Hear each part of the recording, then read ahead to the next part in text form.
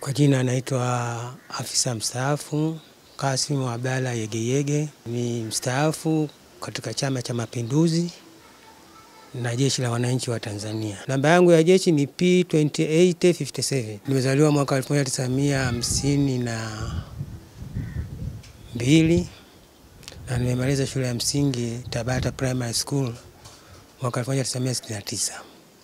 Baada ya kumaliza shule 79 nimejiunga na chama cha tano 1970 kama manekrekta wa chama, na baada ya hapo chama kikanipeleka Jeshi la Kujenga Taifa Ruvu mwaka 1900 na, na sabini. Na baadaye nimechukua mafunzo yale ya kijeshi nini ya JKT kwa muda wa miezi mitatu ili, ili, ili, ili, nini nikatakiwa tena na jeshi kwenda Monduli kwenda kuchukua kozi ya uongozi wa platoon commanders course. Wakati nachukua kozi ya platoon commanders course, ndipo vita ya Kagera ikatokea. nafiki kwenye miezi ya kati ya Oktoba na Novemba hivi, kama kama kumbukumbu zangu zitakuwa ziko sahihi. Kwa hiyo makamanda ambao tumekuwepo pale kwenye mafunzo ilibidi tusipate hata nafasi ya kwenda nyumbani kwenda kuwaga. Badala yake tukatakiwa moja kwa moja kwenda kwenye mobilization center ambayo ilikuwa Shinyanga. Kwa hiyo tumekwenda Shinyanga kule kwa maana ya kuwatayarisha wanamgambo tayari kwenda nao front line, kwenda nao vitani. Kwa hiyo mimi nika, nika, nika, tukakaa pale kwa muda fulani tufanye mobilization, tukaandaliwa, kila mtu akawa na idadi ya askari ambayo alitakiwa kuwa nao kutokana na, muundo wa kijeshi. Kwa nafasi kama ya kwangu mimi luteni, uongozi wangu ni kwamba natakiwa niongoze platuni na platuni inakuwa na watu kama kati ya thelathini na mbili au thelathini na moja. Kwa hiyo nakuta, lakini katika mobilization ile center, kwa sababu watu ni wanamgambo wengi walijitokeza, na formation ya vita ile ya Uganda ilikuwa ni masiwa, ni vita ya umma ambayo ina haiangalii idadi ile ya, ya, ya, ya, kawa, ya nini ya, ki, ya kitaalamu tuseme ya, ki, ya, ki, ya kijeshi ya kimundo.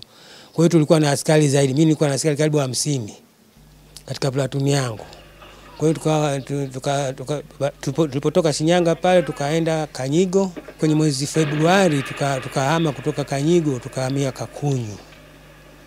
Kakunyu pale ndio tulisubiri kwa muda ili, ili kuvuka mpaka kuelekea Uganda, na mwelekeo wetu ulikuwa ni ku, kuelekea Uganda tukivuka mpaka kupitia katika ziwa moja linaitwa Lake Nakivale. Kwa hiyo tuka, tuka tulipambana pale Lake Nakivale, baadaye tukavuka pale tukaenda kukamata kambi ile ya Mbarara, lakini zoezi hili lilikuwa ni kwamba tulikuwa tuna wasipu wale maadui na kuwasukuma na maeneo ambayo tulikuwa tunayaacha kama nilivyoeleza kwamba kuanzia Mbarara wapi askari wetu walikuwa wanakamatia yale maeneo.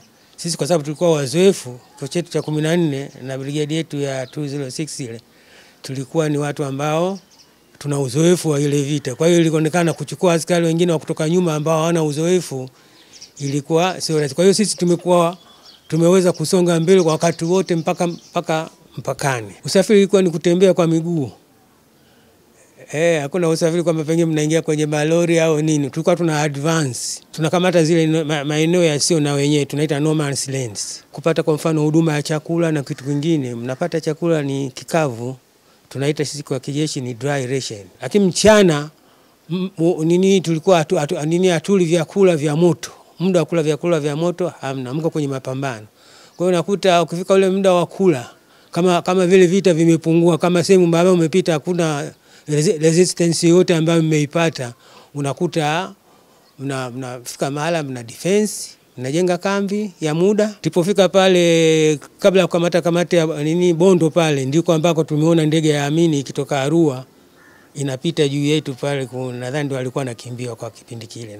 Naikumbuka ile vita kwamba ilikuwa ni kitu kibaya, na tusiombe nchi yetu iwe kutokea kitu kama hicho, na ndio maana viongozi wetu unakuta mara kwa mara wanahimiza swala la amani maana wanajua kwamba vita inapotokea shughuli zote zinakuwa zinasimama na hakuna mtu ambaye anaweza kuendelea na nini na shughuli katika kujipatia kipato chake cha maisha kwa kila siku. Kwa mfano sisi eh, nini la kama, kama nchi ilikuwa itangazi, lakini kuna maeneo tumepoteza askari. Kulikuwa na sherehe za mashujaa kama, kama kwa kumbukumbu, kwa sababu nyinyi hamkuwepo wakati tunapokelewa pale uwanja wa Taifa, na siku ile ya kupokelewa, kama kumbukumbu zipo ambazo waandishi wa habari mnafahamu, ndege yetu ilidondoka pale kwenye maonyesho kwa ajili ya nini, ya, kuwaonyesha wananchi jinsi tulivyokuwa tunashiriki kule vitani. Maisha yangu kwa sasa ni ya kawaida tu ya kujichanganya na jamii. Mimi mwenyewe nina banda langu kama hili mnaoliona ambalo linategemea wapangaji, na wapangaji kwa bahati mbaya kutokana na mafuriko yale ho- sijapata wapangaji, lakini wanapokuwepo wapangaji ni kwamba mapato yanayotokana na wapangaji ndio yananifanya mimi niishi. Mimi ninachokumbuka ni ile tu kupata medali ya, ya kuvuka mpaka na medali ya vita. Kutolewa medali hii ndicho ambacho nikipata nini baada ya vita. Lakini hata hivyo, baba taifa alikuwa ametamka kwamba tukae miezi sita ya kujifunga mikanda. Kwa hiyo tukatume kujifunga mikanda wakati ule mpaka sasa hakuna aliofungua huo mkanda, sio? Unanielewa waandishi wa habari, kwamba mkanda ule haujafunguliwa mpaka leo. Lakini kutokana na hali ya kiuchumi ilivyo hivi sasa, ipo haja ya kuona kwamba wale walioshiriki kwenye vita ile ya Kagera angalau wakawezeshwa kupewa asante kwa kiasi fulani, wale ambao wako hai, kwa sababu sehemu kubwa ya watu wale wote walioshiriki kwenye vita ile wamekufa, lakini wapo ambao hivi sasa wengine walemavu. Mimi nafikiri ni hivyo. Kwa hiyo tunamwomba Mheshimiwa Magufuli aone uwezekano wa kutuangalia sisi ambao tumeshiriki kwenye vita ile ya Kagera.